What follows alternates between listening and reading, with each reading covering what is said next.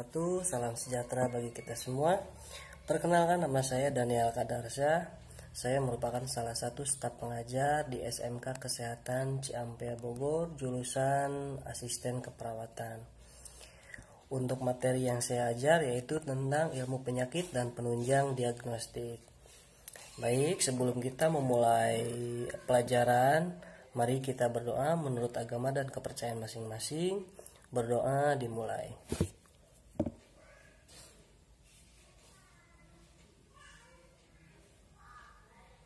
Berdoa selesai. Mari kita belajar bersama-sama. Baik, untuk materi pertama kita yaitu tentang pemeriksaan penyakit pada tubuh. Tetapi sebelum kita membahas tentang pemeriksaan penyakit pada tubuh, mari kita bahas terlebih dahulu tentang penyakit pada tubuh. Oke, dalam istilah keilmuan, patologi adalah ilmu yang mempelajari tentang penyakit di mana meliputi pengetahuan dan pemahaman dari perubahan fungsi dan struktur pada penyakit yang dimulai dari sebab, sifat, dan perjalanan penyakit. Patologi juga mempunyai tujuan utama untuk mengidentifikasi sebab suatu penyakit yang akhirnya memberikan petunjuk dasar pada program pengelolaan dan pencegahan penyakit tersebut.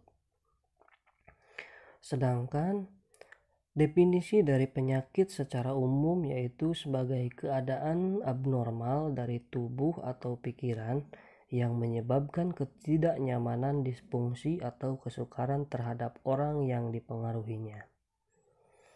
Adapun penyak, macam-macam penyakit pada manusia sebagai contoh yang pertama yaitu kolera asiatica. Penyebab kolera asiatica ini yaitu bakteri Vibrio cholera.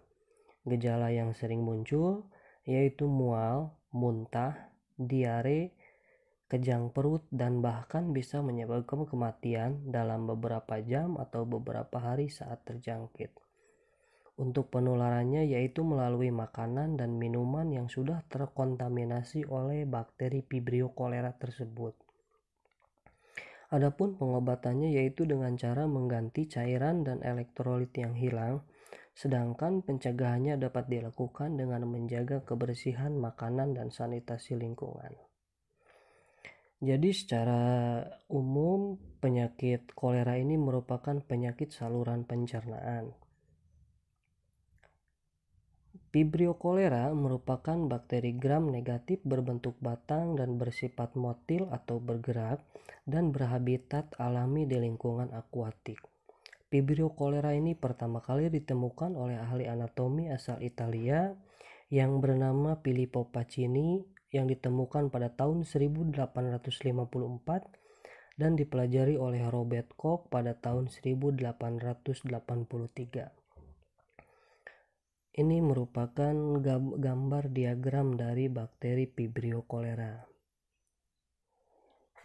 Contoh yang kedua yaitu penyakit red bit fever atau demam karena gigitan tikus.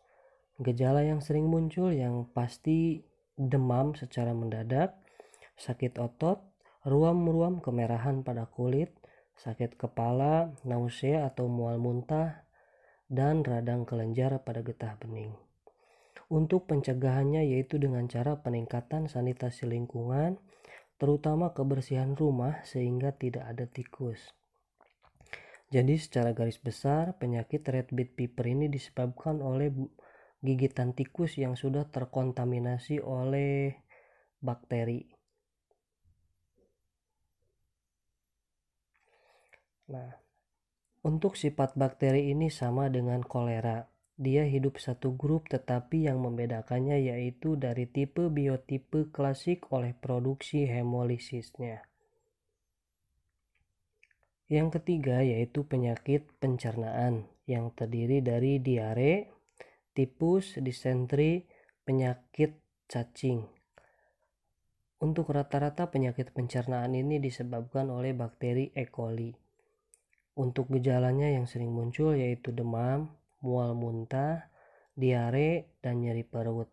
Penularannya yaitu melalui makanan dan minuman yang sudah terkontaminasi oleh bakteri E. coli. Adapun bibit penyakit ini berasal dari feses manusia yang menderita penyakit penyakit tersebut. Untuk pengobatannya yaitu pemberian cairan dan elektrolit serta antibiotik. Pencegahannya dengan cara menjaga sanitasi lingkungan. Bakteri E. coli ini merupakan bakteri bentuk batang gram negatif dan termasuk famili Enterobacteria. E. coli ini merupakan penghuni normal di usus semua jenis hewan termasuk manusia karena mempunyai peran positif dengan cara menekan pertumbuhan spesies-spesies bakteri yang berbahaya. Ini contoh dari gambar bakteri E. coli. Contoh yang ketiga yaitu pneumonia. Penyebabnya yaitu Klebsiella pneumonia. Gejalanya demam, batuk pilek, penebalan dinding mukosa, dan dahaknya berdarah untuk penyebarannya melalui udara udara oleh melalui udara oleh aerosol yang mengandung mikroba dan penyebaran kuman secara hematogen ke paru. Untuk pengobatannya itu kontrol secara berkala kepada pelayanan kesehatan. Baik itu kepada puskesmas, klinik ataupun rumah sakit setempat. Pneumonia ini merupakan salah satu penyakit paru-paru yang disebabkan oleh bakteri Klebsiella pneumonia. Nah, Klebsiella Klebsiella ini menunjukkan pertumbuhan mukoid kapsul pesikardia yang besar dan tidak motil atau tidak bergerak. Ini contoh bakteri dari Klebsiella yang hidup di dalam paru-paru. Dan yang sebelahnya lagi merupakan contoh rongsen atau foto rongsen ya dari uh, orang yang menderita sakit pneumonia. Kita lihat di sini dari lobus kiri dan kanan sangat banyak corak-corak pneumonia. Uh, untuk materi pertama ini saya rasa cukup sampai di sini dulu ya.